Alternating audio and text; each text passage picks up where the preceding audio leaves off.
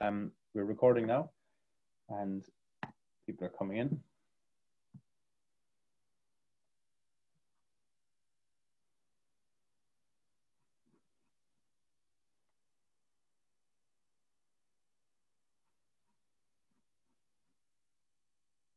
So, hello everyone. It's great to see so many faces popping up there.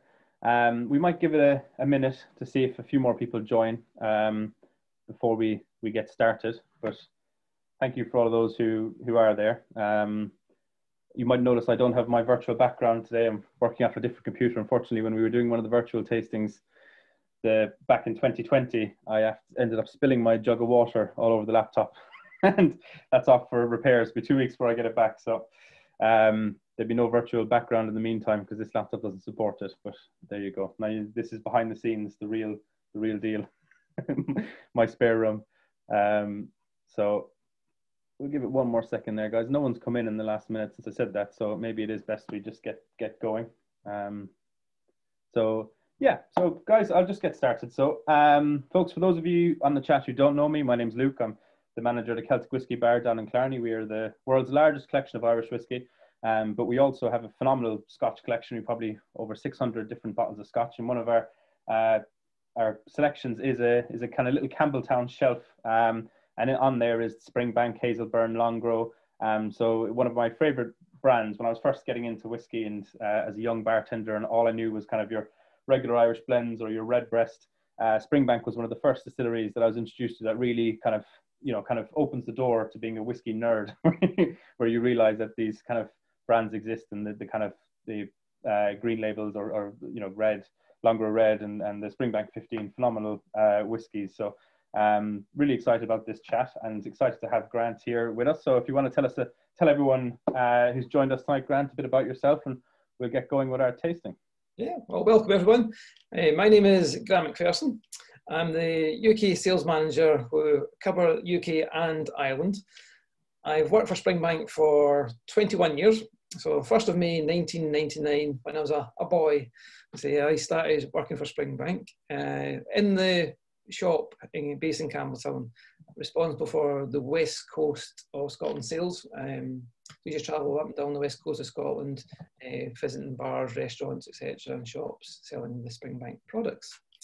Worked in there for about five years, and then a position came up eh, for being in the sales and marketing for Cadenhead's sister company. So I uh, moved on to sales and marketing for Cadenheads for about five, six years. So I used to travel around the world doing all things related with Cadenhead sales. And then a shop manager position came up, um, which perfectly timing when I wanted to settle down a bit of family life and stuff like that. I had kids, so worked the shop manager for about five, again, about five, six years.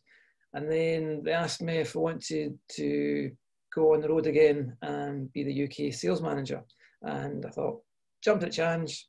And yeah, here I am now, uh, six years later, working uh, for Springbank in the sales and marketing for the UK, covering Ireland. So yeah, travel up and down the, the UK and across the island and tastings, trade shows, etc. So, great company to work for.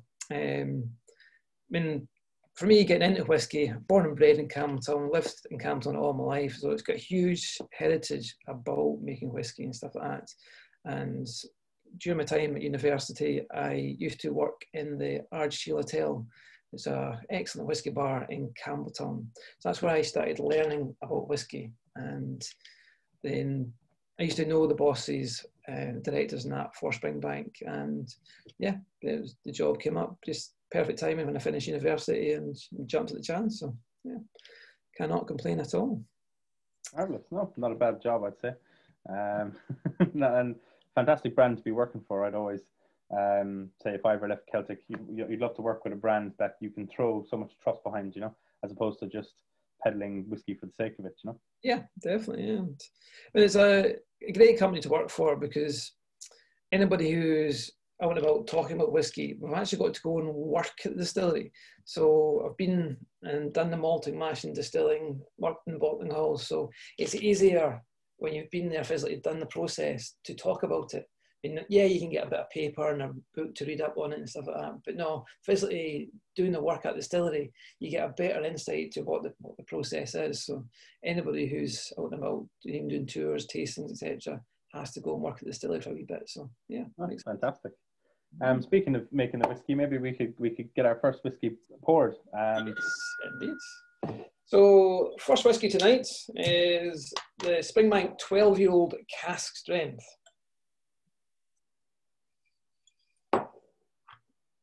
This one is bottled at 55.3% alcohol. So 12 year cask strength is actually, it's bottled twice a year. It is a limited edition product uh, that we produce twice a year. So normally the, the core range of Springbank uh, we talk about is the 10, the 15, um, the Hazelburn 10 year old and the Longrow. That's the kind of core range of Springbank. And then we have limited edition products like 12 year old cask strength, Springbank 18, 21 year old, 25 year old. These are all limited edition products that are bottled or once a year in very small tons. Yeah, the 12 year old cask strength, this was usually about 10,000 bottles for this one here. Uh, so, say 55.3. The makeup for this one is 65% bourbon and 35% sherry cask maturation. So normally we keep, you try and keep this a recipe similar for the 12 year cask strength, but over the last few bottlings, it's actually changed slightly. Normally the 12 year cask strength's got a more sherry to bourbon ratio, but this one here is actually more bourbon to sherry. And why is that? Uh, again, it's just looking at stocks um, and we're more kind of looking at the future now of what we want to, like when we're filling the cask, we want to say that, okay, that's getting matured on at 10 year old, that's getting matured on at 15 year old, and we're getting more sort of volumes, and so we can do that. There were certainly years of production where we filled casks, we might have got more bourbon casks in than sherry, and then the next year we got more sherry casks in towards bourbon. So it's a uh, we're trying to make sure we kind of fill the kind of same portfolio every year, so we can control our uh, stocks better, shall we say? Mm-hmm. No, say, even for the Springbank 21 we're trying later on, this year is quite unusual mix to it, but it's cracking dram, but the cask makeup of it is quite unusual. But we'll talk about that later on. Type thing. A little yeah. later, guys. Keep you on the keep you on the Zoom. Yeah, indeed. So this one here is quite a lot, a lot of floral notes to it. Um, you know, you get that sort of kind of light, burnt embers in the sort of in the nose, and that comes through in the palate as well. Nice sort of peaty uh, to it, and very, very lightly peated. In Springbank, we do three different styles: uh, Hazelburn, Springbank, and Longrow. So unpeated, lightly peated, and the Longrow is a bit more heavily peated. So we're catering for all markets from one distillery, shall we say. Now, I've got a little presentation with some uh, pictures and videos to show you, just to give you an insight to Campbeltown and stuff like that. Now, a wee bit of history about Campbeltown itself. Campbeltown used to be described as the whisky capital of the world. There used to be approximately 34 distilleries in Campbeltown. Now, people ask us, why so many distilleries in such a small town? And the reason behind it is, well, one of the main reasons is this picture in front of you is Campbeltown Loch, where basically big ships used to come in, loading up with whiskey and taking it across to the Ayrshire coast for big lending companies. So it suited the area. And also the coal mine just outside Campbeltown at Machrihanish, all the farmers growing the barley and stuff as well. So the whole, all the main ingredients for making whiskey in Campbeltown. Unfortunately, things changed, the prohibition, etc. Big sort of whiskey boom where uh, a lot of distilleries in Canada started cutting corners and ended up closing down. Where there was only there were only three left now: Springbank, Glengyle, and Glen Scotia. But we are still recognised as a whiskey producing region, so we are still on the map. So that's Camden. that was if, I don't know if, if it's apocryphal, but uh, someone was telling me a long time ago now that that that the region's kind of accreditation was was in in in the balance. Is that is that true or? Yeah, I mean, around about the year 2000, uh, the Scotch Whisky Association were trying to say, no, Campbeltown, you're no longer a region. They wanted to classify it as a Highland region. Around about that same time, we were thinking of reopening Glengyle Distillery. And we went back to look, there soon might be three distilleries in Campbeltown at that point there was three distilleries in the lowland region and we were look they're a region so why can't we keep a regional status especially with the history the heritage in Campbell and that came back and said okay if there is three distilleries we could keep a regional status. So um, it got us kind of moving things along quicker with reopening Glengyle and it certainly took us four years but we got Glengyle up and running again in 2004 so yep put Campbeltown back on the map. Brilliant uh, there's, as you can see, Loch in the distance there, but we've also got a, a, huge military presence back in the day for, this is actually one, well, one point, this was actually the, the third longest runway in Europe. You see 1.8 miles, um, so just outside Cambs on the Machrihanish. So uh, it used to be our old military base. And you sort of see Campbeltown, so not too far away from Campbeltown. That's actually not too far away from where the, the coal mine was, where we got coal for the, the boilers, etc. And a lot of the, the farmers were producing the barley in that for us as well. There's some more pictures of Campbeltown. Well, it's up the back of Springbank. There is some videos in this. There's the the water source as well. So we've got uh, back in the 1700s or late 1700s, there was a purpose-built loch called Crosshill Loch to supply the water source for the distilleries of Campbeltown. And to this day, we still get a water source from Crosshill Loch.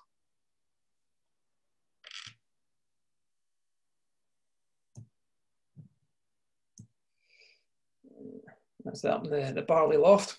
So we're actually, Springbank's founded in 1828 and at present uh, the chairman is a great great grandson. So it's still in the same family as its original founders. And we're actually the only distillery in Scotland that can say we do 100% production process on site from start to finish. Do everything from malting to the, the bottling, uh, 100% yes, there might be a few other distillers that say they do the malting process, but if you start asking them questions, do you do it all themselves? No.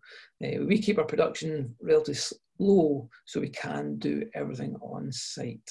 So it's Scottish grown barley uh, right through to the bottling process as well. There's, uh, so this is up in the, the barley loft, uh, which I actually just use for the local barley yes, I said it's only Scottish grown barley we use, but we do ask uh, some of the local farmers in the area to grow barley. So for us, so all the local farmers from Canada barley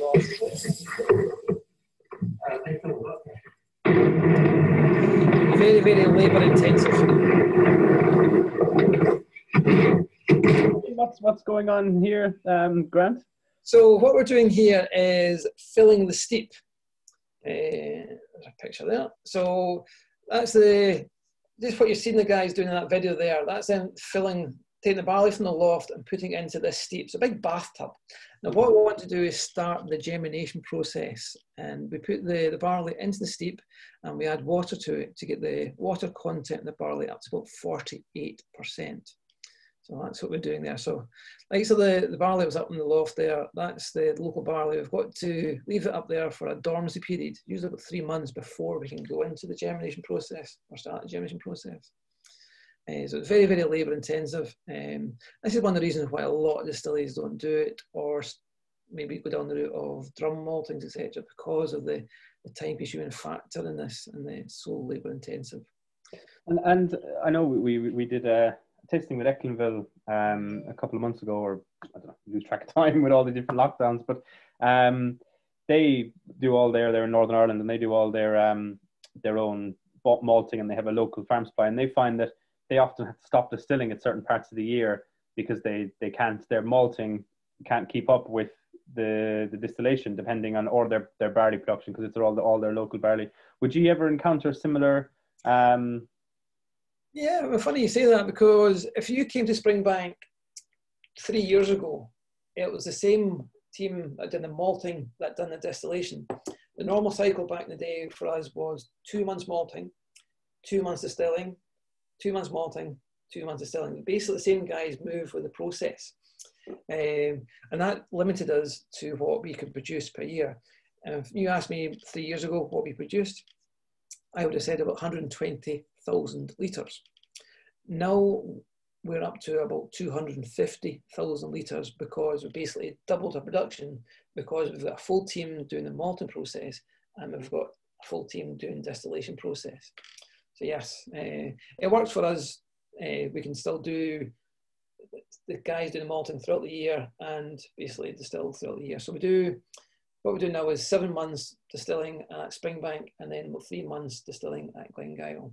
So Glengyle Distillery is actually only producing for three months of the year. Um, but St. Stillman are working seven months at Springbank. Very good. So the guys got to go in and shovel the barley out after doing the steeping process. To give you any idea of the steeping process, they've got to put, fill the, the, the steep up for about 12 hours, drain it, fill it up for another 12 hours, drain it, and that sort of gets the water content up to about 48%. And then, say they go in there, they've got to firstly shovel the barley out of the steep uh, onto the malt floors, and then they've got to spread it evenly across the, the malt floors. Now, the way they've done it, they've only done half of it there. The way we do our cycle, that actually starts about six o'clock in the morning, the end of the steep. The next shift comes in about eight o'clock. So they do the other half. So that's the way it works. So that's why you only see half of the steep emptied there. And then, so you can see in the background the steep with the barley sort of outside of it. And then the guys basically, they'll shovel the, barley evenly. It's usually about six inches deep onto the malt floors. This all depends on time of year, etc. Because there's no heat source in the malt floors. The only way you can control the temperature is opening and closing the, the windows in the background. So during the summer months, the windows are open to try and keep the, the place cool, but during the winter, then everything's closed and trying to keep the heat in. Because the optimum temperature for the germination process is about 16 degrees Celsius. So that's uh, we control that, and that's why every so often we've got to turn the barley or grub it, as I say, to express some heat out the barley and stop it knitting together as well. That's the, the grubber. So that's basically a, a kind of plough-like system, big rake that they'll use for dragging through the barley. Also got an electric turner there in that photograph, which makes things a wee bit easier. The grubber there. A little video here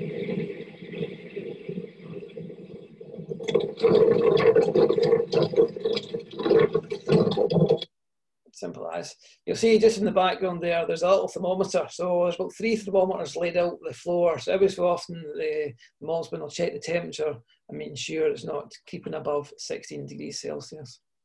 And everything's recorded by hand in a, a book. So it's very, very old fashioned machinery we use and no computers at all at Springbank. So it is literally the old fashioned way of making whiskey. Gordon Lawler there in the chat says there must be a lovely smell in that warehouse. Um, I suppose would you would get that kind of porridge oaty smell that you do get from a from a mash bill, I imagine. I don't know. Um, yeah, I mean certainly it's when we're doing the tours, we, we like to show everybody the whole process. You'll get to see the malting, mashing, distilling, um, warehousing, and then the bottling hall. And it's amazing the smells at every different stage. Mm. Uh, especially it is a kind of rich maltiness when you straight step into the malt floors.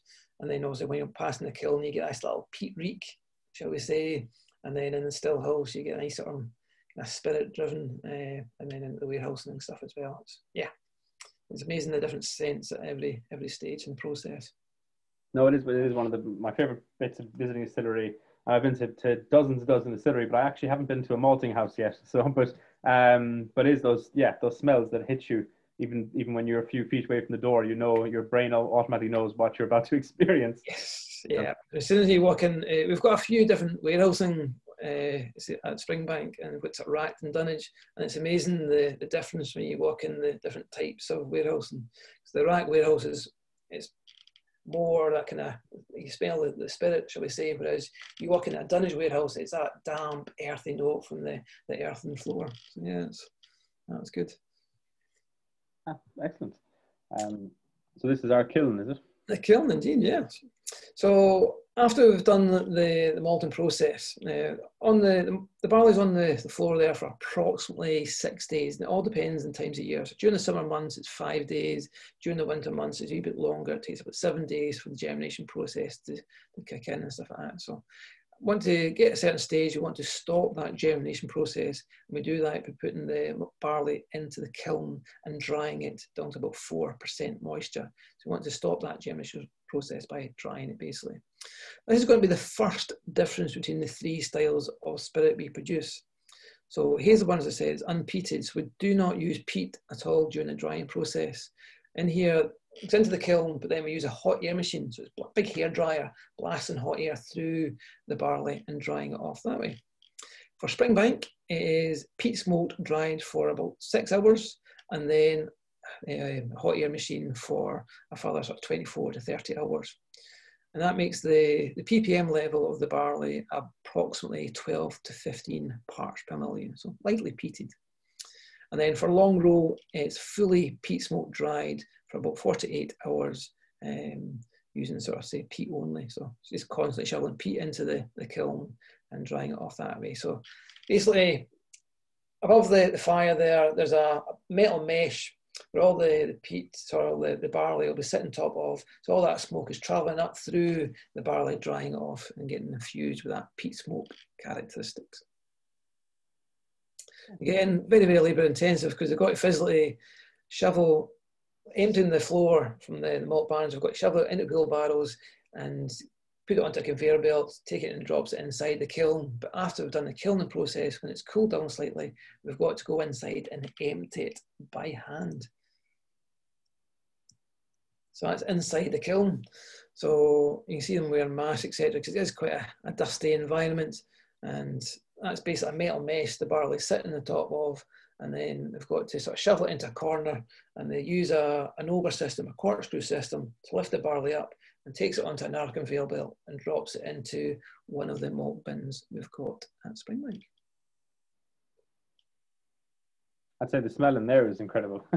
mm, that is, it's very biscuity. That's the best way to describe it. It's very malty, biscuity, and it's even you can actually eat the barley, and it's that kind of crisp, uh, especially when it's nice and warm, very, very edible. You know, it's, it's really nice. Well, I used to do uh, tasting classes at the Irish Whiskey Experience, and and some people would really struggle with the peated. We always finished on a peated option. Um, if we are on the, the what was called the Distiller's Apprentice, your kind of introductory course, the kind of base level one you could do. And uh, you know, it was always you know it's a cliche, but that kind of marmite. Some people just couldn't stand the, the peat. But um, a, a fellow I know from who who works with a, a peated whiskey brand in Ireland gave me some barley, some peated barley. And if you give people a taste of the the peated barley, got them to chew and handle and feel the peated barley, and then give them the peated whiskey, you almost invariably got a much better reaction. You know, it was almost like their brain could calculate better what why yeah. they were getting these flavors from their whiskey. You know, I found it fascinating the kind of how quickly that alters people's perception. It's quite shocking. Well, the, the one we had anyway was. Yeah. It seems because obviously we see the to us, yes, we know the ppm of Longrow is quite high. It's about you know about 45 to 50 parts per million, but on the nose and palate, it's not an aggressive peaty smoky whiskey. Mm-hmm. But a lot of people are kind of they're waiting for that peat smoke hit, and it's not there. But it's nice, it's subtle. And I describe Longrow as a kind of introduction to the peat smoke influence or stepping stone to Islay. So well, I was, I was uh, a friend of mine was, was asking me for a Scotch whiskey recommendation last year, or I can't remember when, but at some point recently enough. And uh, I said, "Oh, try the Springbank 15." So afterwards, I said, "Oh, what do you think?" And he said, "Oh, it's, it's too too peated for me." And I was thinking, I wouldn't, you know, in, in, my world, it wouldn't even, it would barely. I know we were talking about how it is, you know, it is 12 ppm or whatever, but it wouldn't register, you know, compared to some whiskies. But there you go. Yeah, it's the Springbank 15, which we're we're going on to next, so we could maybe just to start describing that one as well because the Springbank 15 year old is actually fully matured in sherry casks. So yes, it is lightly peated, but because it's fully matured in sherry, a lot of people think, or in the nose and the palate, it's got heavily peated sort of peated influence to it, but it's actually it's more the kind of sherry cask influence they're getting through in the nose and palate. Because this one some people do basically describe this one as a, Christmas cake in a glass because of that kind of rich sultanas, raisins, nuts, a lot of of nutmeg type of notes to it. As you expect with a Christmas time or a nice sort of heavy sherry whiskey.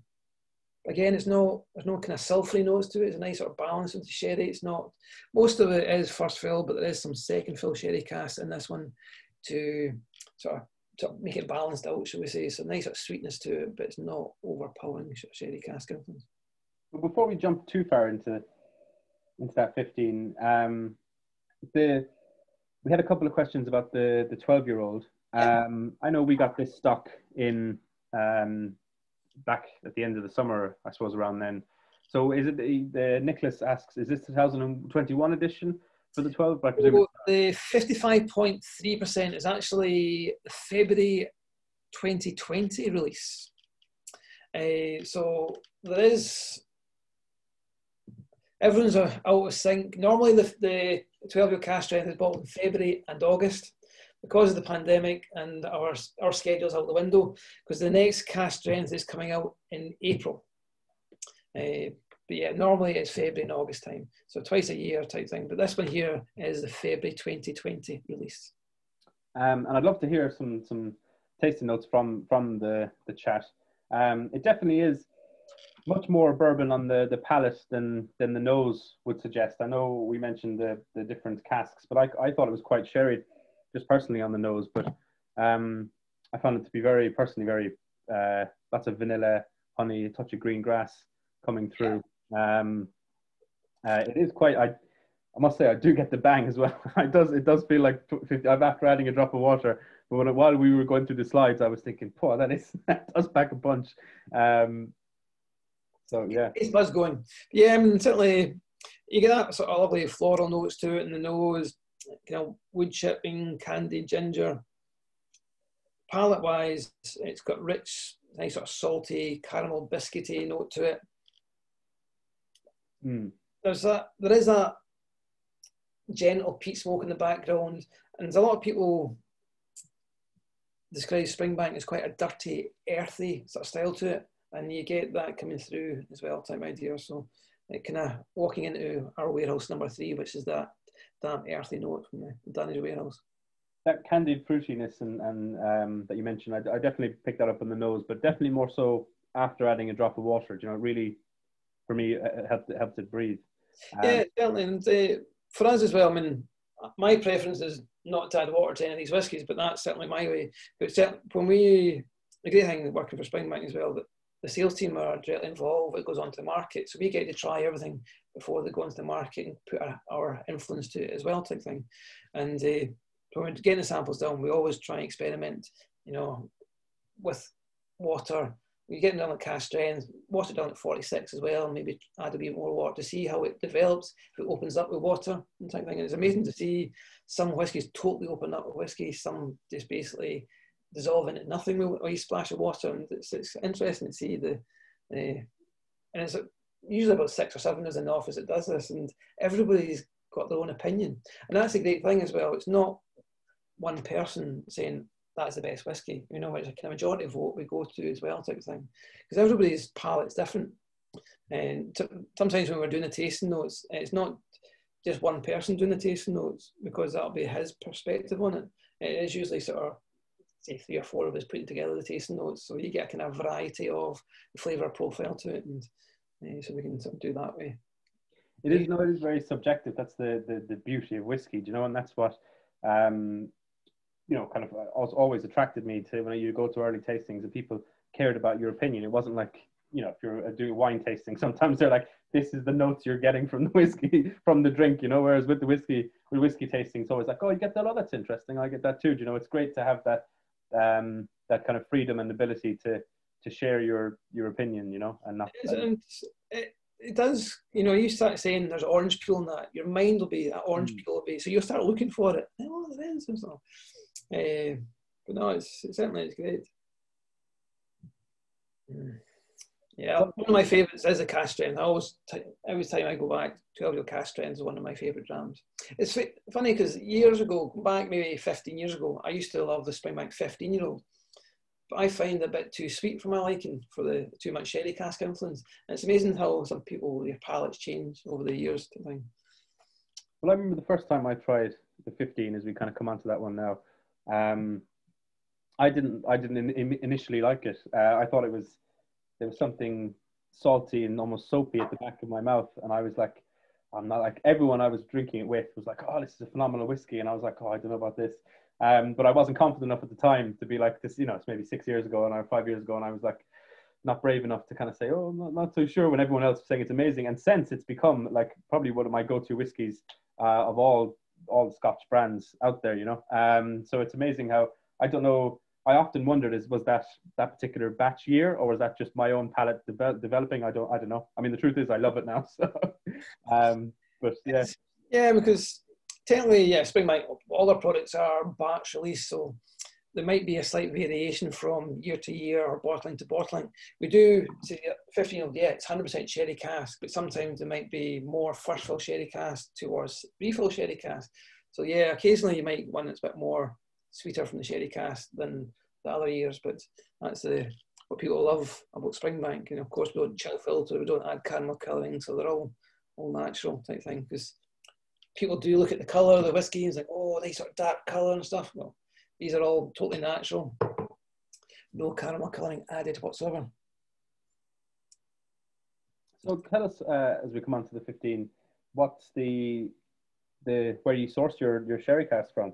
So yeah, I mean every couple of years, well, maybe not just now, our distillery manager will go out to Jerez uh, and basically source the cask directly. So we, because we're relatively small distillery, we can basically go and source our own cask directly. So I've got contacts um, and we'll go out and yeah, it's mostly Oloroso sherry cask direct from uh, Jerez um, that we'll source. Shipped over whole, we don't break them down, uh, so they're basically shipped over straight to the distillery. And so there's a lot of goodness in them, they're not a chance to dry out, etc. Um, over the last five years, we have bought in various different types of sherry uh, to do a kind of sherry series type thing. So we've got different kind of sherry cask maturing away to do a Springbank sherry series. I'll not mention too much because it's a bit of a surprise in years to come. So over the next couple of years, you'll see a limited edition Springbank series starting with about six different types of sherry. So you can see the between the difference with Oloroso, Fino, Manzanilla, etc.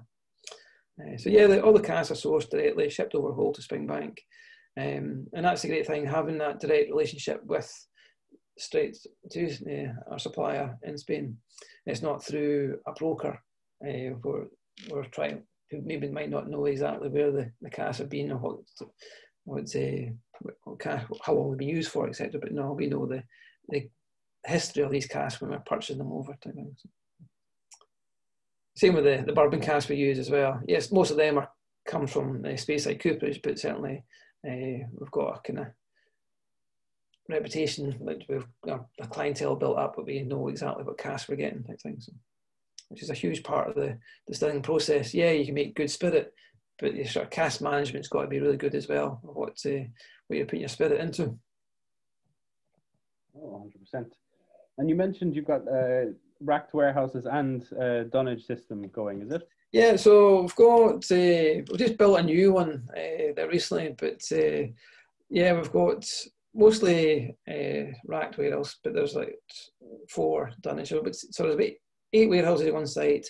Um, most are sort of racked, but there's a few dunnage wise as well.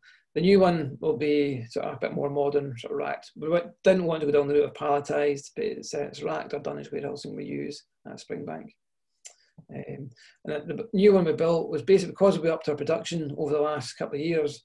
The we needed the storage space, so we had to basically with a we know what how many casts we can store on site, etc. Right? How many years can we go before we need a new space? And so within two years' time, we've got this. We need to start using this new warehouse. But uh, so we built it. We only planned on using half of it, or get the rack, racking in one half of it uh, over the next year, and then a couple of years' time, we'll need to get other half rack type of idea. So. Mm.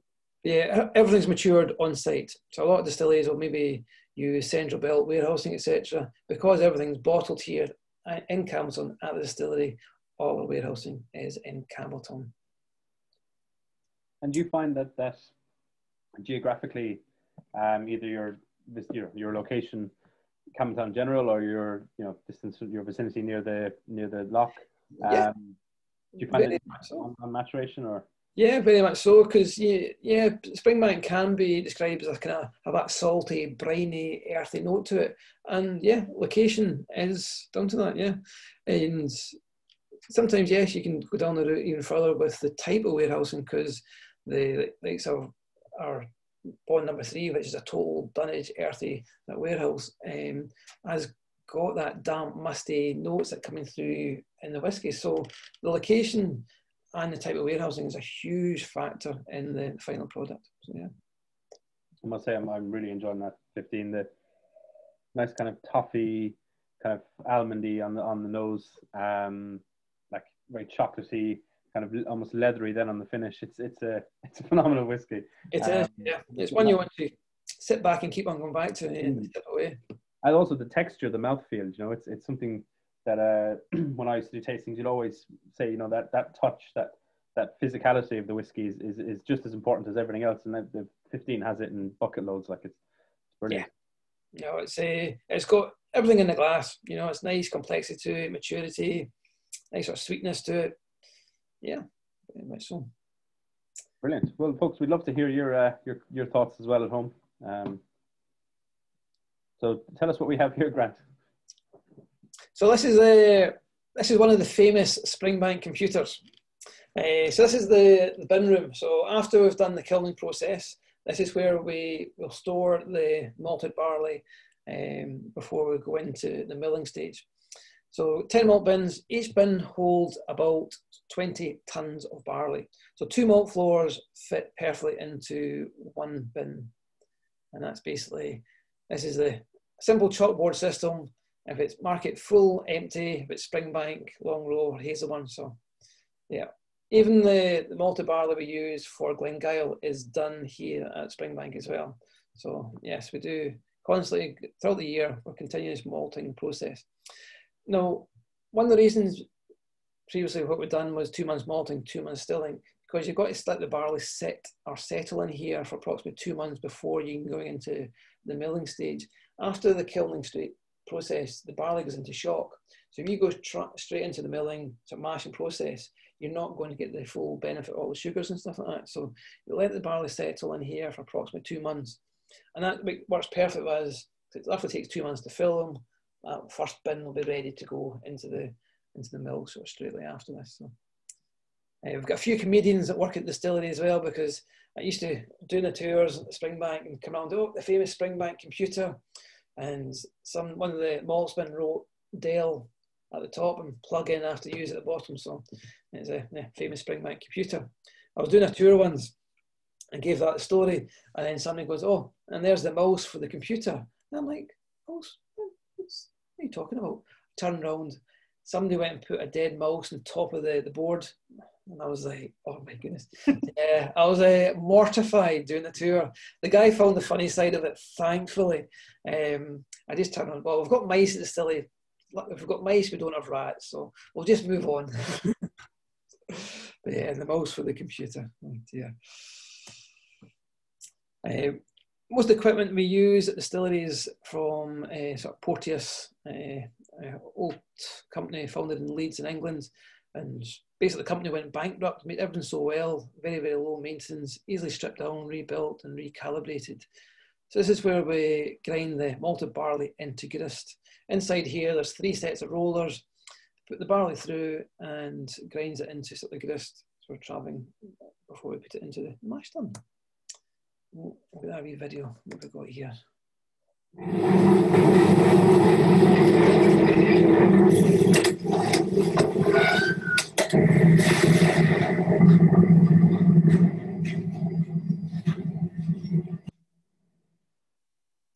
Yeah, so what you're seeing there is before the, the barley goes through the mill, it goes up to what we call a dresser or a destoner. It's a big sieve-like system that takes away all the stones, all the mice, so only malted barley is getting dropped through the mill.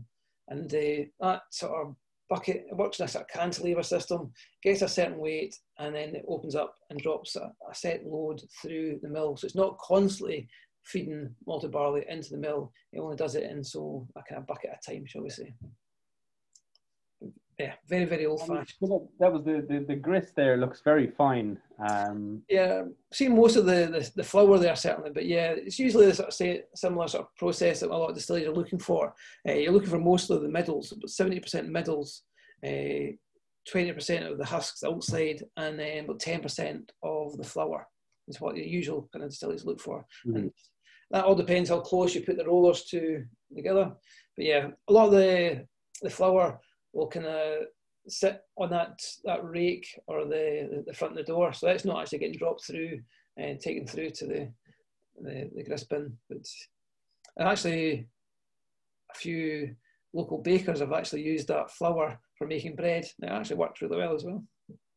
There you go. There's the, the mash tun. So this is where we put the, the grist. So we put about three and a half tons of the grist into the mash tun, and then we put four lots of hot water through the three and a half tons of grist.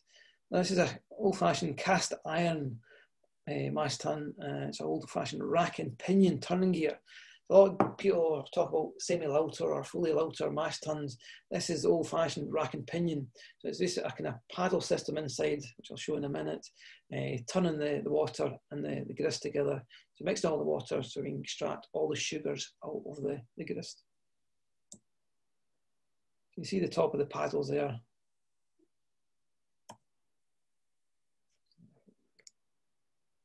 And that's um, just filling it up a lot of steam comes off. So fill up the, the mash tun and then I'll start the paddle system and then just basically turn all the, the water and the grist together.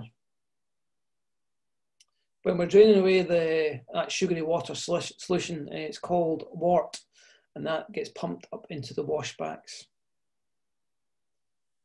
this again beautiful smell comes off it but the hot water and the grist getting mixed together it is just it's like, it's like porridge. It's a mm. beautiful sort of sweet smell coming through. And that's a that sugary water solution kind of getting drained off.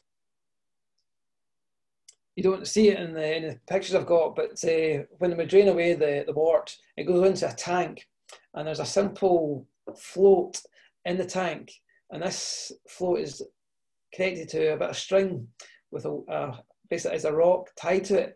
And as the, the float rises, the, the string goes down so we know the, the level of the tank. Great technology. And it, it, simple. If it's not broken, don't fix it. So that's them draining away the water left with it. So after we've done the four waters through the, the grist, that's now called draff and that draff goes up to in a draff tank and a local farmer will come in and take it away for cattle feed. Another video behind the scenes.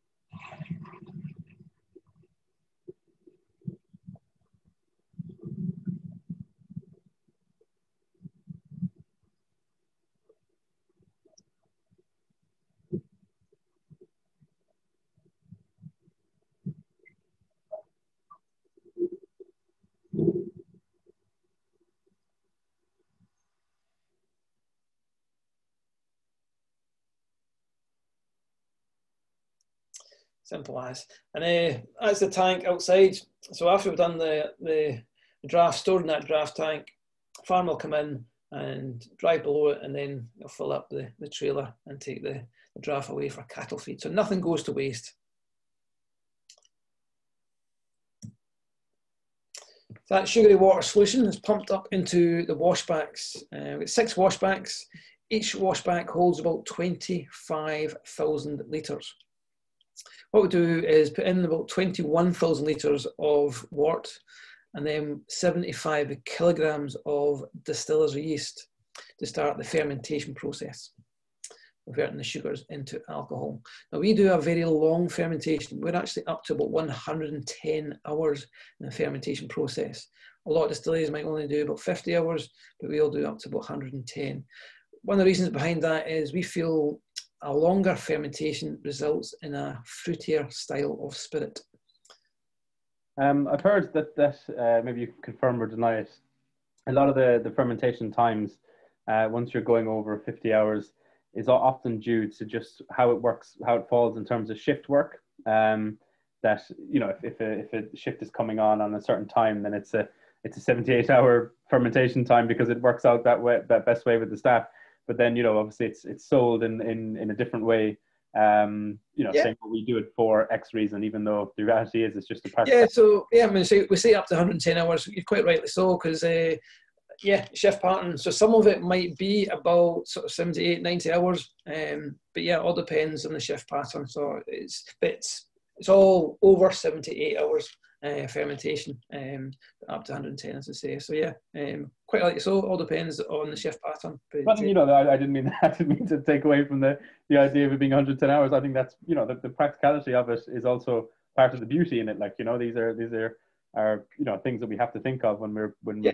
we're very much so yeah I mean that's it because uh, well we've got uh, six stillmen they work in teams of two uh, on shift so only two on shift at one time one person will be doing keeping an eye on the mash tun and the washbacks, and then another person is keeping an eye on the stills. And yeah, and uh, it all depends on chef. We don't distill over the weekends.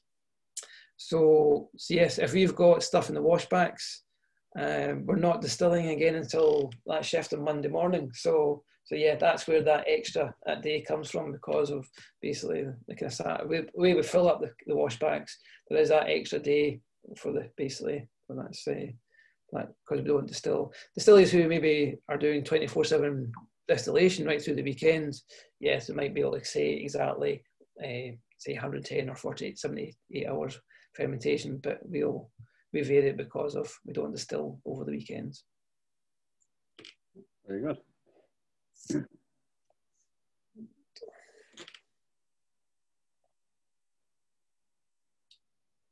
we ready to go on to number three? I think we might be. What's everyone think? Everyone's quiet in the chat today. Um, normally after two whiskies, though, people start getting a bit loose with the with the fingers. So hopefully that happens. Uh, we've got a question there from Thomas before we come on to, to number three, Grant, who says, uh, what is it like living in Campbeltown? Um, when I visited, I was surprised by how remote it felt, even though it's on the mainland he's obviously never been to Ballinskelligs, but there you go. Yeah, I mean, uh, yeah, well, born, lived here all my life. Um, I'm not a big city fan. Um, so, like, when I, I went to Paisley University just outside Glasgow and then stayed there for about three years during my university time, um, I couldn't wait to get back to Campbeltown. I enjoy it because of basically what we have on our doorstep. You know, lovely beaches, you know, great for walking.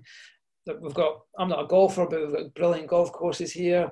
I used to do a lot of fishing when I was younger uh, in rivers and in the sea. So, yeah, we've got so much to hear. Yes, you might, there's no big, well, supermarket why we've got a Tesco's and then we've got a co op supermarket, but there's no big shopping malls to go like for your, you know, your supermarket, you know, your shopping trips. You've got to go to Glasgow.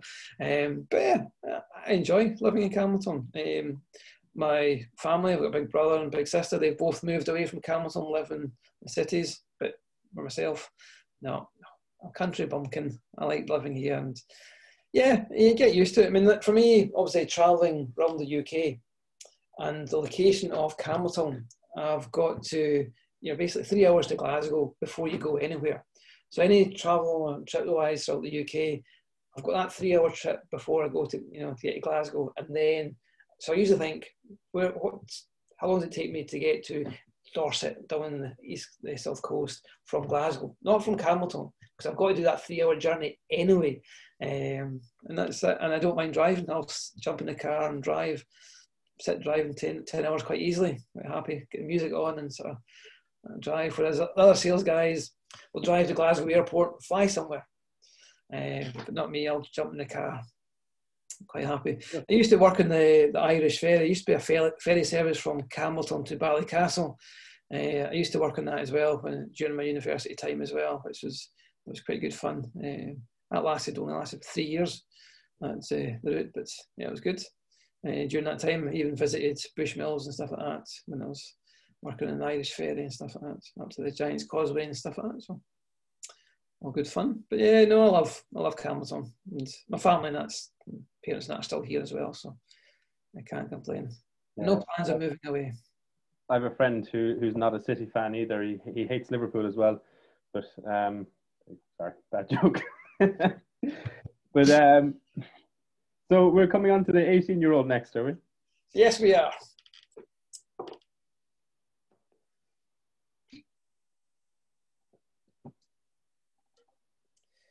Let's bring my 18 year old.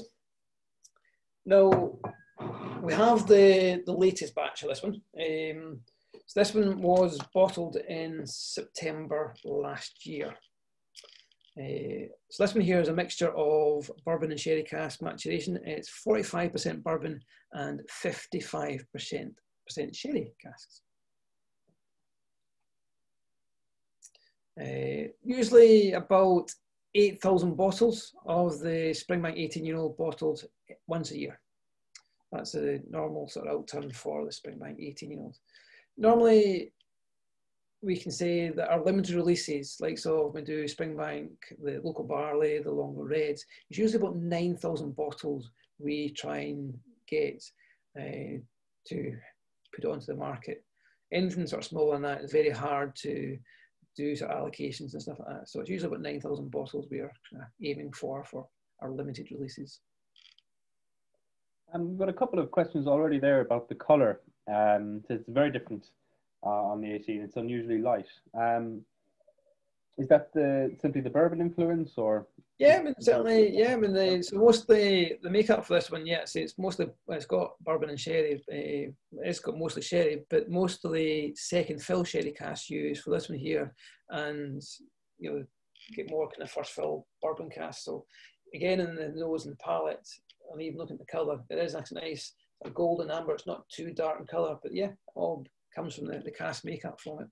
Seeing that first and second cast, So, and the nose and palate, yeah, it's a nice sort of balance between the bourbon and sherry influence. You know, it's a lovely vanilla notes to it. Nice sort of, sort of toffee, cinnamon sort of note to it as well. Sort of pear drops on the nose. And then sort of it becomes quite creamy on the, the palate as well. Mm.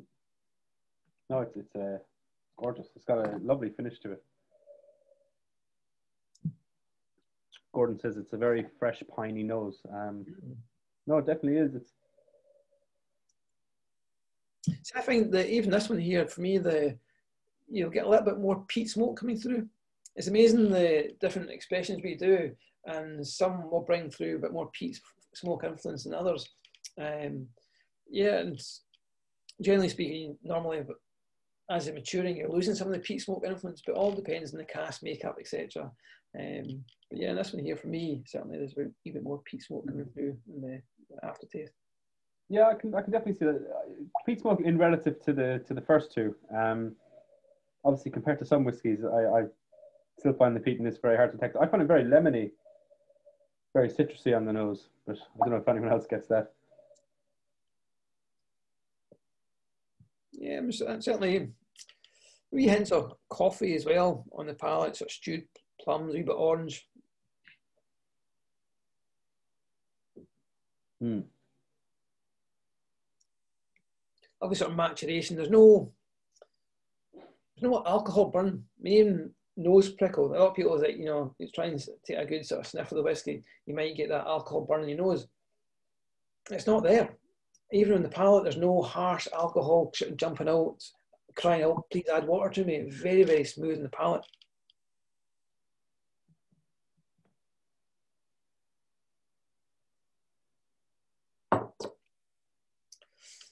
So the picture here, we can see Springbank's got three stills. And this is going to be where the second difference between the three styles of spirit we produce. So Hazelburn is was unpeated. It's also triple distilled. So it is more like an Irish or a lowland style to it. Uh, simple as from the washbacks into the wash still, distilled once, twice, and three times. So the more times it distills, a lighter, fruitier characteristic you're getting through from it. The wash still is very unique for us. It's actually got a direct flame heated source underneath and steam coil. So it's got two heating sources in the wash still. The two spirit stills I've got the steam coils inside for the heating process. But yeah, our wash still is very, very unique. In fact, it's got two. Back in the 60s, uh, it was converted from a coal fire to an oil burner. So that red box in front of it, that's the that's the, the the burner for it, the oil burner. Which back in the day. Springbank, sorry, forgive me for there. The Springbank is, is triple distilled, is it? Springbank is two and a half. Two and a half, right. So yes, this is the so. So that was my. I thought. I thought in my head they, it was it was Hazelburn was the triple distilled, and Longrow and the Springbank were were double, I suppose. So yeah, so here's one triple. Springbank is two and a half. So what we do with Springbank is take your wash from the washbacks into the wash still, and distill some of that, and you get your low wines coming off. Take some of your low wines, put it into the second still, and you get your faints coming off. So what we then do is take 80% faints, 20% low wines, and put that into the third still and distill that take your middle cut from that. So the middle cut, some of that spirit has been distilled three times, some only twice, hence two and a half times distilled. Very good. Excellent. That was ways that everybody's confused face. That's a yeah, simple as uh, for Springbank, some of it is distilled twice and some of it three times. So it's a partial triple distillation, a mixture of your low wines and your faints for that final distillation run. Because there is a, um, what other distillery does a is it Mortlach? Does do the, yeah, they've got a Wee Witchie still, and they do the two point eight eight, which is something very similar. Actually, yeah. Two point eight. We don't do the math and work it out exactly. We say two and a half. It's not quite two and a half, but it's close enough to us. But, no, no, but it's brilliant. It's excellent. Yeah, and it, it, works. And people ask us, why is it always, you know, why is it done that way? And we say, because it's always been done that way. Mm. The chairman, who's in his 80s, he's always done it this two and a half time distillation. He knows his father and grandfather has always done this two and a half time distillation. So that's always continued. In likes of Hazelburn, we started doing back in 1997. Um, we done that because Frank McHardy, back then he was a distillery manager, he worked at Springbank, left and went to work in uh, Bushmills, worked at Bushmills for about 10 years and came back to Springbank in 1997 and says, why do we do this triple distilled style of spirit? Um, and that's where that came from. Longrow we started doing back in 1973. And that was basically like an argument with somebody from Islay saying you can't make peaty whiskey off of Islay. And the chairman was like, yes, you can, you just need peated barley. Um, and that's one of the reasons why we started doing the Longrow is a, to prove the point you can. And the fact is we were back then we were producing a lot of blends and using a lot of peated whiskey for our blends. So we're buying in peated single malt, so why not make it ourselves? Mm. And then after a few years of maturing away, well, this is actually really, really good. We can bottle this as a, a single malt. And that's where the Longrow range was came from. And doing the three, three styles. There you go. No, I was just say we have a few comments there before we come on to more on the stills. I know that um, there was one parting comment. Oh. Sorry. Um, I don't know how to stop that. there we go. I don't know what happened there. Um, as I say, it's not my laptop, as I said at the start. The so I can't bring the comments back up now. It's uh, playing off on me. Ah, there we go. Um, sorry about that, folks. Technical difficulty. Uh, Simon says definitely getting the dried fruit from the 15, and he found a big difference with a drop of water on the 15 too. Um, so I thought that was an interesting comment from earlier. I wanted to come back to. Um, Bob has a great comment on the 18, where he says, "To me, the 18 is has all the magic of the 12-year-old cast strength, uh, which he love, which he loves. The silky leather of the finish wafts through the back of the throat, disappears, and literally reappears on the throat and disappears. Um, then he says he actually meant to say the 15, not the, the 12 year old. So do you mean you're saying the, the 18 year old has the magic or the 15 year old has the magic? Uh, Bob, if you want to. Um, and Thomas says, whenever I have the Hazelburn, I find it slightly peated. Uh, this, I suppose, is more directly related to our discussion on the stills. Uh, I know the barley that is used for it is not peated. Does it come from the residue from the previous distillations of peated malts? Um, so maybe you could come on to that one, Grant, before you, we, we continue talking about the stills. So was that Hazelburn, was it?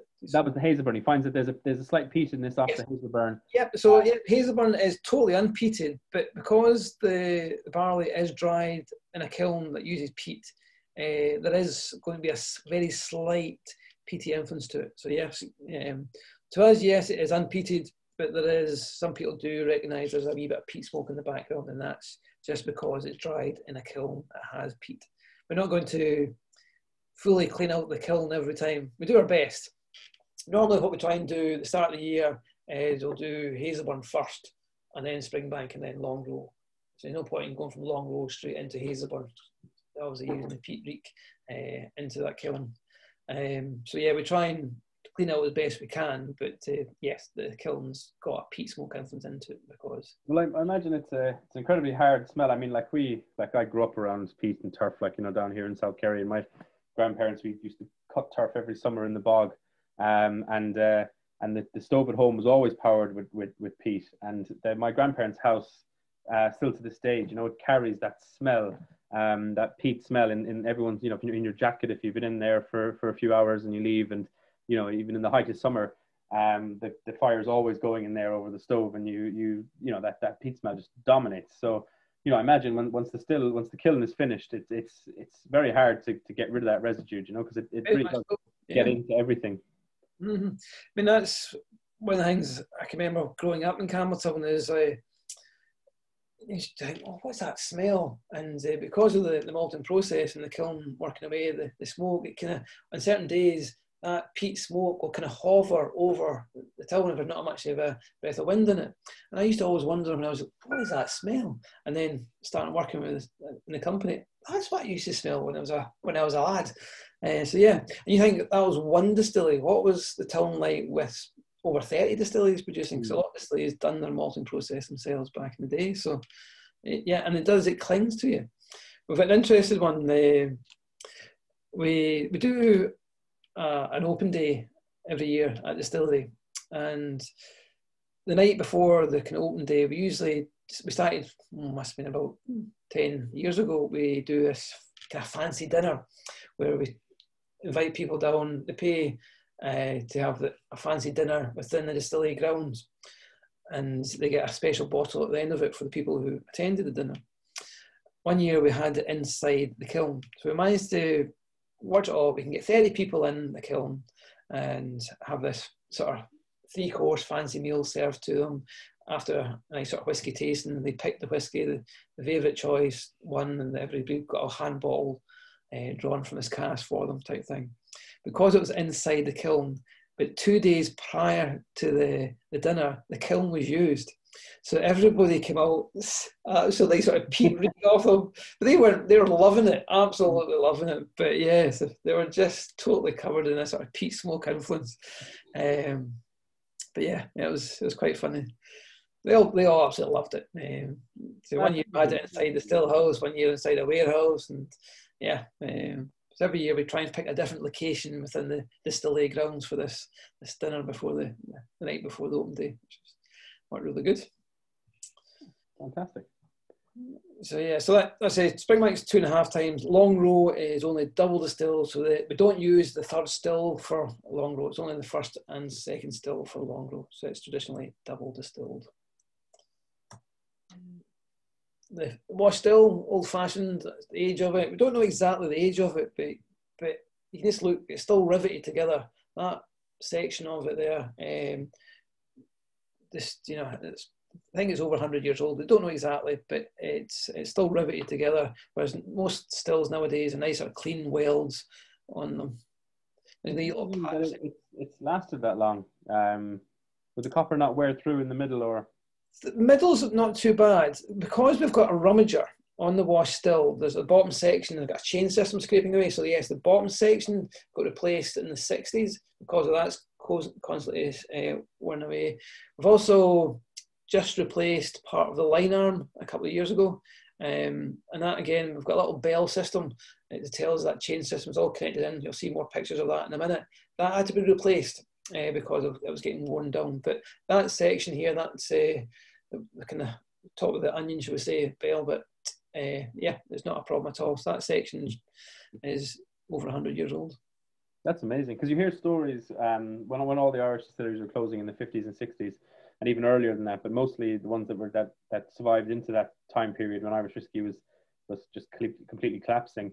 Um, one of the stories I've often heard, and I don't know how true these are. You hear these stories and you don't know how to verify them. Do you know what I mean? I studied history and I you know, you're kind of thinking, how many sources do we have for that comment? So I, I always feel a bit nervous passing on, passing them on when I hear them. But one of the things I often heard was that the state of the stills at the time was was was was one of the things that driving the closures because you know they wasn't seen. It's one thing if you can keep tipping away, maybe distilling a couple of months out of the year or something. Um, but when the stills need replacing, if they're wearing away and, and it's not stripping out the sulfur and you're your whiskey starting to degrade, it's a big investment getting, you know, replacing all your copper stills, you know, or, yeah. or mending them. So it's, it's going to obviously have a massive economic impact on your decision to, to plow on or not, like, you know. Very much so, yeah. I mean, certainly we're very lucky. Um, again, for many years, Springbank technically was only producing six months of the year because of the fact we were like two months malting, two months stilling, two months malting. And that was the way it was for many, many years.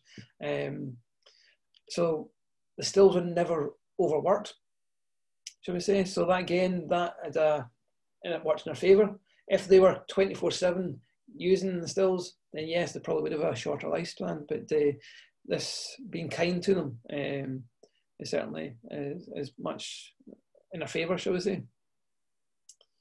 Uh, that in the 60s, the, the wash stills were replaced like for like so they're nice sort of clean welds and that on them. I mean, that's, again, we don't know the age of this photograph, but you can see the original, So the top section riveted together. I mean, that top section was replaced in the 60s, but the, the bottom, the rivets, yeah, we reckon over 100 years old for that bottom section of the, the stills. That's brilliant. So that's inside the, the wash still. So that's what you call the rummager. That's the, the chain system. Because of that direct flame heating source underneath, uh, you've got this rummager scraping away at the bottom so the wash doesn't stick to the, the bottom of the stills. And then you see the, the steam coils inside there as well. Um, because we've got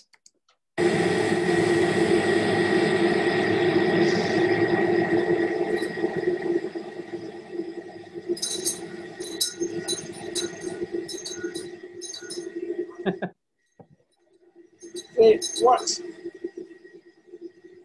That is connected to the, the rummager. So obviously it's inside the stills. We don't know if that is working or not. So that chain system is connected to this part here and that bell tells us it's just done a full circle and is working away perfectly. So, so yeah, when you're in oh, the oh, Springbank, you hear this little bell, that's what the bell is.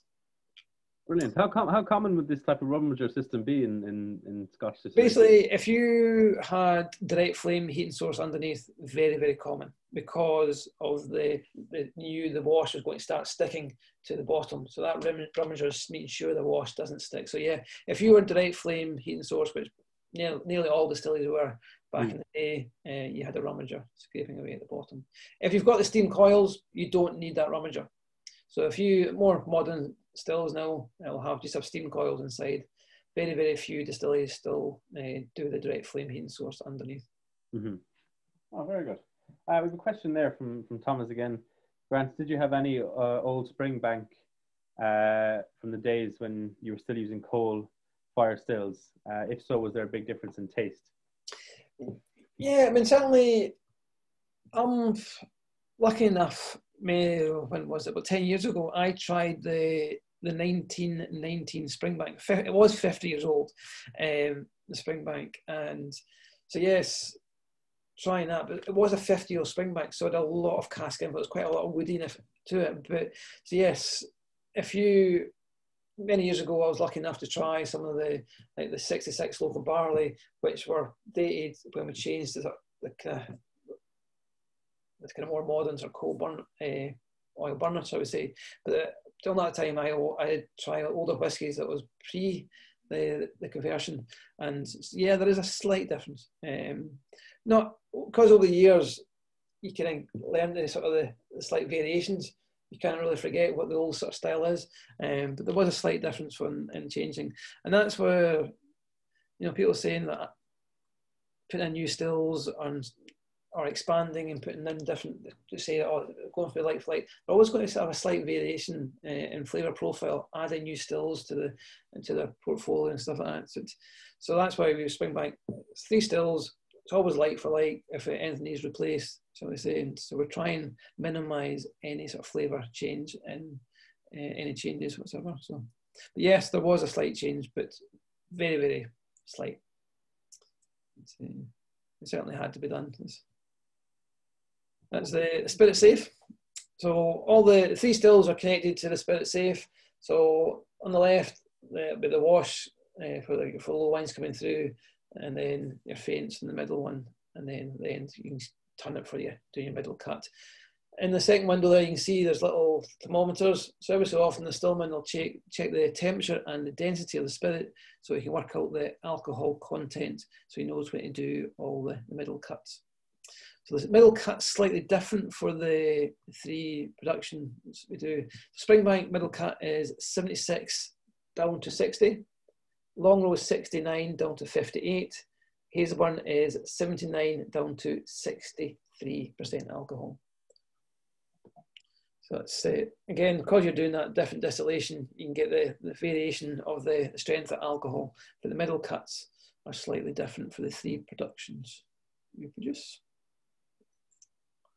80% uh, of production goes towards Springbank, 10% for Longrow, and 10% for Hazelburn. So yeah, Springbank is the main focal point. But doing Longrow and Hazelburn, we are catering for all styles, uh, for everybody's got different palates, shall we say. And you know, some people come up to me at trade shows, oh, I like something that's uh, unpeated uh, and bourbon cask. Hazelburn 10 for you, or somebody else might come up. I like nice sort of peaty, smoky influence, a bit of sherry cask, or spring, or maybe the Longrow 18 for you. It's nice peaty, a bit of sherry cask influence. So we can cater for all markets, doing the three products and the age profiles with the different cask makeup for it as well.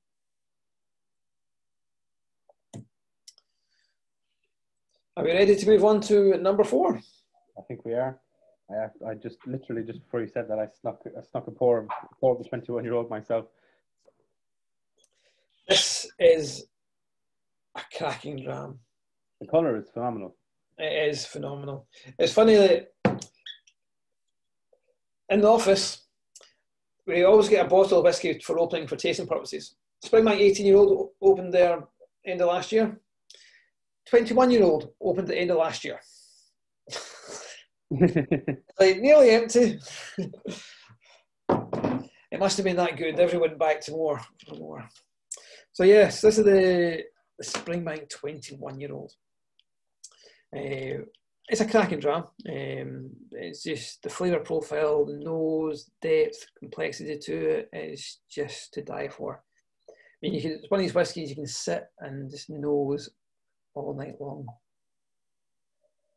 No, it certainly is. So you said that there was a a, twist to this year's edition, or this? Yeah, it is. The, so there's only every year there's usually about three thousand three hundred bottles of spring twenty one year old.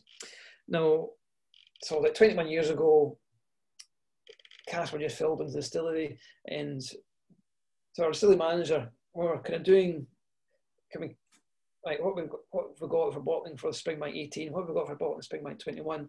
So when we was looking at the spring Springbank 21 year old, he had bourbon, rum, sherry, and port. So this year's makeup with the 21 year old is 30% bourbon, 30% rum casks, 25% sherry casks, and 15% port. Normally, it's got mostly just sort of bourbon and sherry, mostly sherry towards bourbon. But yeah, this year there is some rum cask used and some port cask used in the mix. Exciting. And yeah, it has created a wonderful, wonderful dram. Uh, yeah, cracking.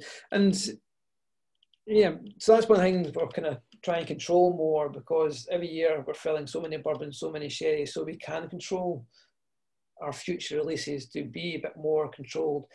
People do love the, the quirky releases from Springbank, um, you know, and you know, this year Springbank 21 year old was all oh, got that port and the sherry and the rum influence to it, or last year was mostly bourbon towards sherry. People do like that, and people start asking us, oh, you know, the Springbank 21, for instance, it doesn't have a date when it was bottled. And people ask us, when, how do I know what year it was bottled? And people start looking for the little, the operation number that's stamped on the, the back of the, the bottle so they can tell you when it was bottled and stuff like that. So years ago, that number was hand stamped onto the back of the label. Uh, the first two digits corresponding to the, the year of bottling. Um, and that's one way to try and sort of look for people phones up, oh, can you tell us when this old Springbank is bottled? Look for this operation number on the back of the, the bottle, um, and then we'll get the, the year of bottling from that. And that, that, that operation number, we can tra- trace it right back to what casks were used for bottling that, that, that product in case there's any basic traceability, uh, if any problems uh, occur to it, and say, oh, what casks were used, that cask went to that operation. Time of year. But, well, so yeah, 3,300 bottles. A phenomenal, phenomenal drop. Mm-hmm. it's absolutely amazing. I had I had the Springbank 25 year old a few years back, and I didn't think it got better than that. But this is this is really special. Some fantastic taste notes coming in as well. Uh, Thomas says blackberry and heather honey in abundance on the nose. That's blackberries. I get blackberries in the finish. It's it's, it's amazing. Uh, and heather on the nose to Simon as well. So that's a, a clearly uh, a, a, common one. That's a no, it's a it's a it's a gorgeous whiskey. Um, yeah, that's worth the price of the tasting alone. oh, it is. Yes. When I heard this one's going to be in the tasting, I'm like, perfect. That's good. I like this one. I mean, they're all cracking drams. Yeah, to be fair, but uh, it is one of a, like a standout dram. So back to some of the pictures here. I've got this is what the the yard at Springbank. So all the empty casks stored outside. Uh, keep them normally keep them nice and wet because nearly all, always rains in Campbeltown, but this picture was taken on a sunny day. Uh, and filling the casks. So all the casks will be rolled in one at a time and filled by hand. Normally what they'll do is weigh an empty cask, fill it, and then the weight again, so the weight difference, they can work out the, the, the contents of it, and then it'll be stenciled. So like that cask, filled in 1996. Uh, uh, cask number is 470 and there are 250 litres of it into that hogshead. And this is number three bond. This is one of the traditional earth. And this is what, actually the oldest warehouse we've got on site. This is the, the earthen floor warehouse. It's only three high. And it's quite an unusual warehouse, in fact. Uh, the temperature change in this one is huge. During the winter months, some of the casks will have frost on top of them in a cold winter's morning. And then during the summer, it gets quite hot in this warehouse. So that has actually got a, you know, change to the, the, the maturation process to it. But yeah, this one here has got a kind of damp, earthy note to it. And people do say that this is the best warehouse for maturing Springbank in. and then it's just another warehouse. They've got to hoist the cask up. That's a recent photo. So yeah, 2020. Yeah. Only problem is he's not wearing his hard hat. Health and safety man. or, or, his or his face mask, like Jesus. Yeah. You see all the different sizes. Uh, so it is mostly bourbon and sherry cask we use. It's, nowadays, it's mostly um, hogshead sherry cask we use, but the, there is some uh, butts purchased in occasionally. Uh, so there's usually kind of barrels, which are about 200 litres. A few larger, you know, butts or or port pipes or something. Port pipes. You see a port pipe on the left hand side there. Yeah, I was wondering if that was yeah, and then maybe is that one in the middle of the right or? Is it is. Yeah, yeah. So you can see the difference with a quick glance at them. The port pipes are like a longer, sort of uh, mm. narrow ends to them from the sherry butts. So yeah. Very good. Cracking photo. Yeah. So we're now moving into the, the bottling side. So yeah, even bottling on site, uh, every bottle of Springbank is handled numerous times in the bottling operation. This is one of the, our quality control measures. Uh, when we fill the bottles up, we put the bottle up to a light box to make sure there's no sediment uh, or any spiders into the bottle before they, they go on down the, the bottom line. So every bottle nice. done that, yeah. There's a, a little video.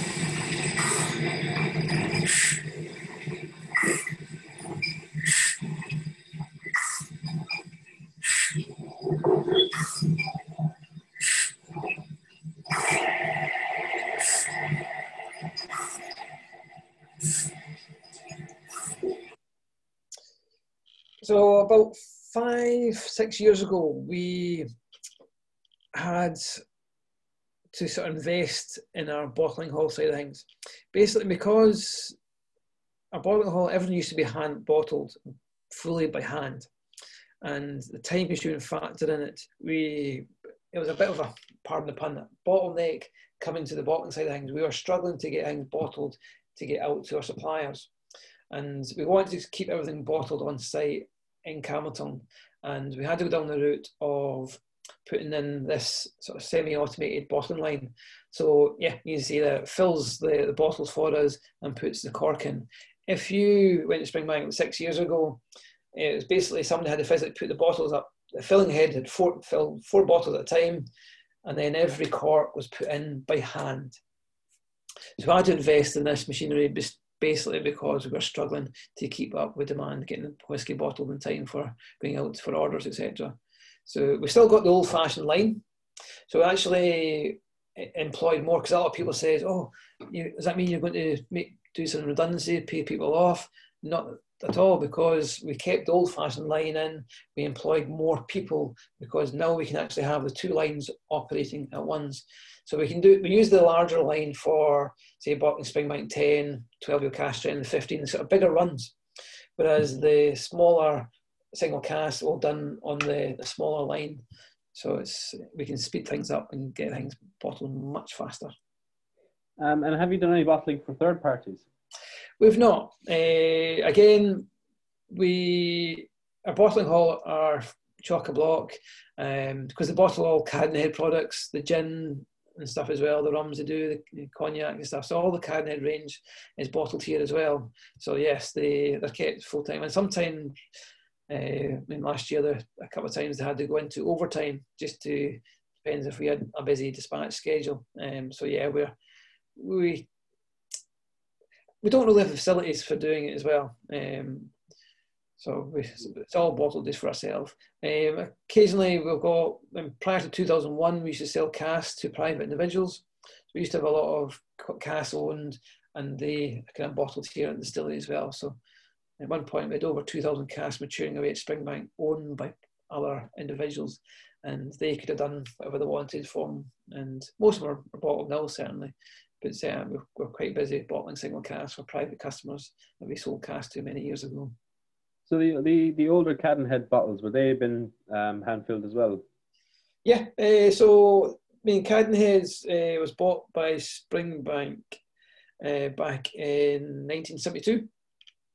And since 1972, Cadenheads were bottled at Springbank in Campbeltown. So, so yes, any sort of anything you've tried from Cadenheads uh, from 1972 onwards were bottled at Springbank. Yeah, I did not know that now. And then that's the bottom line there. So, so yeah, uh, that's just coming to the end of it. So yeah, so every bottle again at the end of that line is picked up, bit of quality control, make sure the label's on straight, not back to front, etc. And then into the carton and then into the outer case. So there's about 17 people working in the bottling hall. Um, and that's the main problem we've got during the, this pandemic because back in March last year, we shut down the whole distillery. Even the sales team were whole furloughed because uh, we couldn't operate. Um, the bottling hall is the main thing. If we didn't have any whiskey to be bottled, the sales team couldn't work. So the whole distillery was furloughed, and we started looking into putting in control measures to to do social distancing, etc. Put in perspex screens, etc. And uh, the bottling hall operated again back in August, and so now we're in lockdown number two over here. We we've actually continued production because we've got various control measures. Because what the the bottling hall do now, they actually only work in shifts of seven people. It's two shifts, um, and they can do things a wee bit slower than their normal wise, but we're we can get whiskey bottles, which is the main thing, and continue production. Uh, is, have you found have you found that it that the pandemic impacted sales or the opposite? Well, there you go. You're actually that, that's a the common answer. There's a few people on. Um, I think only one one person we've had of all the tastes we've done has said that the pandemic has, has had a negative impact on sales. So that's interesting. Yeah, we. I mean, okay, during the furlough, um, wasn't meant to do any working, but I mean, the sales team have all got mobile phones and the emails pinging in. They just pop up the screen. Well, somebody else looking for more stock, somebody else looking for stock, somebody else looking for stock. Um, people have my number, phoning me up and say, oh, I'm furloughed, but uh, we don't have any stock because uh, we can't get anything dispatched typed out to you. Because just before we furloughed, we managed to get some whiskey out, what we had available. And uh, and that's the thing, when we went back to work in August, we had to wait basically a month to get build up a stock again before I could actually ship whiskey out. So that first month, I was back to work in mid July, and I didn't have any whiskey into basically September because the bottling hall started again in August. Okay, I could have maybe had one week I could have got my 10 year old bottled, the next week 15 year old, but we waited till the end of the August before uh, I had whiskey in the portfolio available again type thing. So, but yeah, demand is going crazy. And what we're finding is people who have got an online presence are doing very, very well. Uh, obviously, there's there's no tourism trade for the footfall. Um, they are sort of suffering certainly. Uh, the ones who don't have an online trade, but yeah, the ones who are got a, a good online business are are doing very, very well. And it's not it's a full range um, which is fantastic. Um, yes, there's a even bigger demand for the limited releases we do, but there's always is, is a demand there for our limited releases, but especially the, the core range is just crazy. We can't keep up with demand just now. And Jamie O'Connell asks, any Brexit impact yet? Um, it's now a lot of things is coming to light. Um, because I need to speak to Ali uh, soon regarding this, uh, because there is a lot of more paperwork that is now required, and we're finding even this week that there's different label re- uh, regulations for different countries and stuff like that. Um, but we had, you know, bottle whiskey for many years, but this information for our European markets, which is fine, going out there. But now we're, they're saying this different countries, oh, I need that, on the back label, need this and this back label.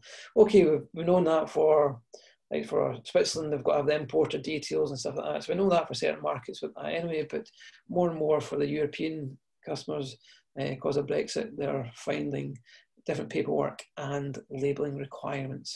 So I'll need to speak to Ali to see if there's anything required for Ireland. Well, I couldn't believe um, when it hit, when it kind of came into effect, how how how few, few, how many things that hadn't been kind of figured out. I mean, we're having issues with uh, our now the bars closed because of, of the lockdown, but our card machine company is is is having issues with uh, how much VAT is allowed to be claimed back to the UK or not being claimed back to the UK, and all these different companies. You know, so if it's if it's a sale under seventy uh, euros, they're not eligible for for VAT back, and all you know all these kind of different things, or or if there's import duty being implied and and some of the people we're shipping with aren't aware if, is, is it under 155 pounds that they're going to leave not uh, not impacted or if it's more than that is it you know all these little import charges and everything that I thought I just assumed as part of all these Brexit talks they were going to be like this is what they were agreeing on and now no one seems to know what what the what it is. Yeah, but we've mail order wise, we've at the moment we've stopped sending whiskey out of the UK because of nobody seems to know regarding what is required paperwork wise. And because we thought, okay, it'll just be a case of sending whiskey similar to out to Switzerland or something like that. But no, it's, it's nobody really knows. So mm. at the moment we're just saying, sorry, we can't ship anything outside the UK. Um, it's been a nightmare. And then last week I was speaking to one of my customers in Northern Ireland. Um, he was talking about a new what they described as an XI number.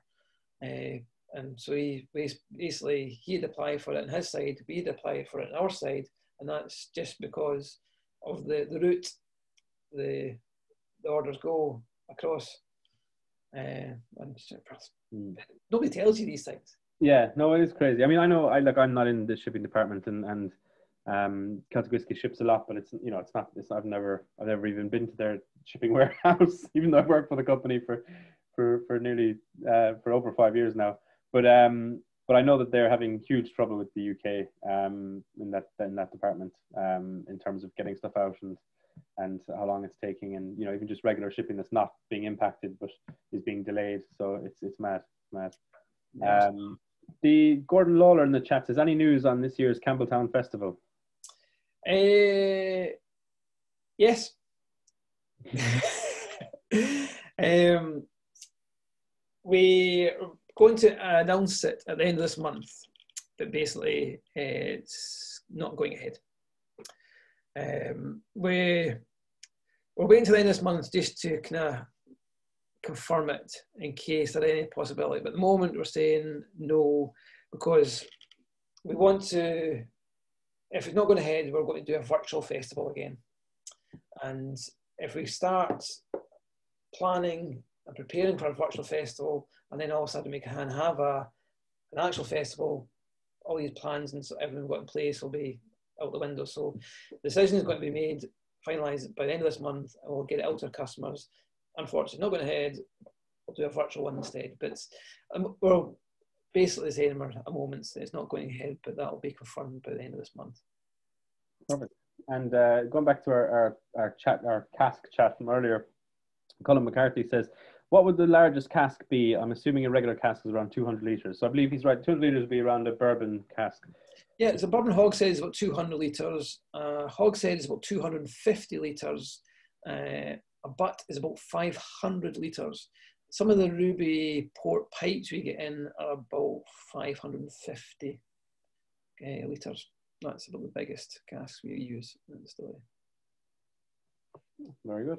Uh, and uh, David has a comment on on that the Scotch whiskey Scotch Malt Whisky Society shipping on hold. There's a bottle that he really wants, and he's seeing the single digit stock dropping. So, no, it is. It's uh, I suppose first world problems, but it is Brexit impacting us all. It is, yeah. I mean, you know, the two going together, pandemic and the Brexit. I was like, just have a drink, you know, driving yeah. a drink. exactly, just have a drink. Just no, very good. Um, well, is there anything else you wanted to, that, to cover? That's, that's covered everything. Um, so uh, I mean, that's it. We basically do everything at the distillery. So an old-fashioned working museum whole distillery, we employ about 90 people doing things the old fashioned way. And the company's now into a trust fund. Uh, about five years ago, the chairman, who you know, he's getting on a bit, he's got other family members who will continue the family line, but he put this the company into trust fund, so all the profits go back into maintaining the distillery, keeping people into into a job, doing things the old-fashioned way. So it's very very important for that. Um, so yeah, uh, credit to him. Um, it's long may that continue, and yeah, and certainly the way the company works, it's always a way right. What what can we do more ourselves? Where can we employ people? And it's not just about where we can maximize profit eh, as well. It's like what we look at whiskey when put it onto market. How much does it cost to make this whiskey?